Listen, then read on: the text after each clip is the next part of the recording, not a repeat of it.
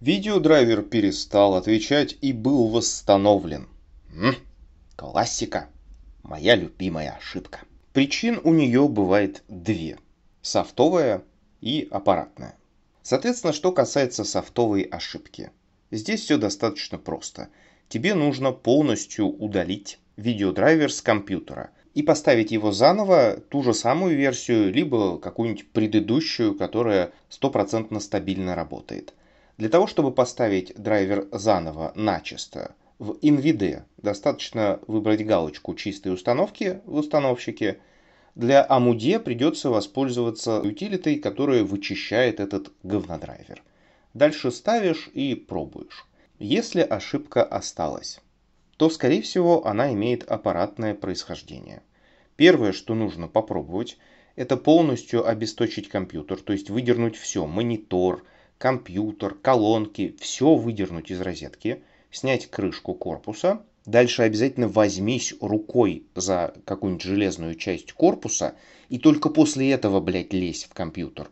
Это нужно для того, чтобы уравнять лепездрический потенциал твоего тела и корпуса компьютера, чтобы не было искры или искры и ничего там не выбило статикой.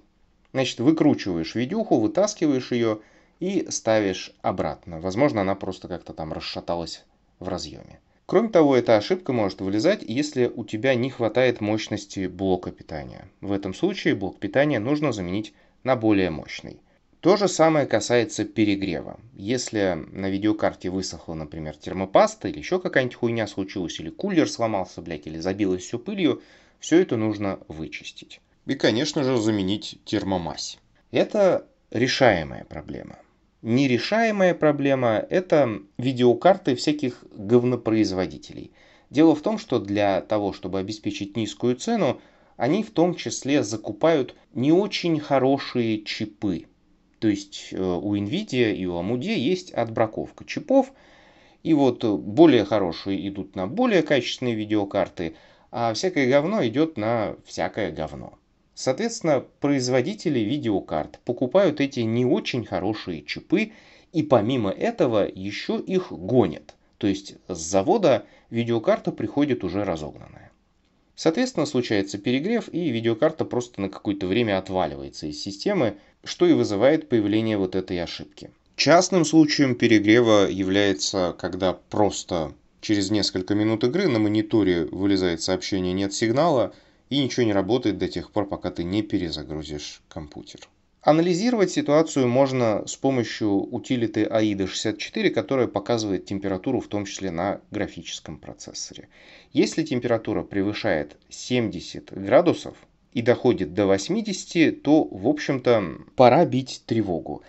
Да, действительно, чипы выдерживают температуру больше 100 градусов и паяют их при температуре больше 100 градусов. Но уже при 80 именно в припое начинают образовываться микротрещины. И со временем эти микротрещины приводят к тому, что чип банально отпаивается от самой платы. И нужно делать ребол. Ну или там прогрев или еще что-нибудь такое. Связано это с тем, что в связи с воплями экологов в припое больше не используется свинец. А именно свинец повышал вот эту вот максимально допустимую рабочую температуру припоя. Что, собственно говоря, и произошло вот с этим вот Амуде Радионом. Потому что как только появляется Амуде, проблемы с перегревом превращаются в вселенскую, сука, трагедию. Данный Радиончик помер. Поэтому, собственно говоря, на нем похоронный крестик из отвертки и термопасты. Да, конечно, наверное, ему можно сделать ребол и по-быстренькому слить где-нибудь на Авито. Но веры уже этой карте нету. Рибол это от слова шарик. Дело в том, что вот этот самый припой поставляется в виде таких шариков, которые закатываются в чип, ставятся на плату и потом припаиваются специальным методом через трафарет, как правило. Вот так вот. Так что если видеокарта перегревается, то очень быстро это приведет к проблемам. Соответственно, что ты можешь сделать в этом случае?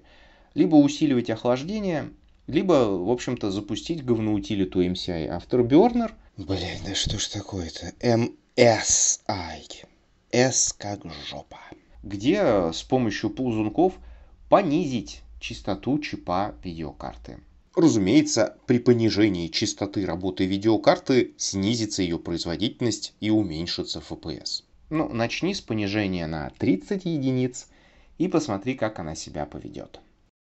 Помогло или просто понравилось видео, тогда ставь лайк и подписывайся на канал.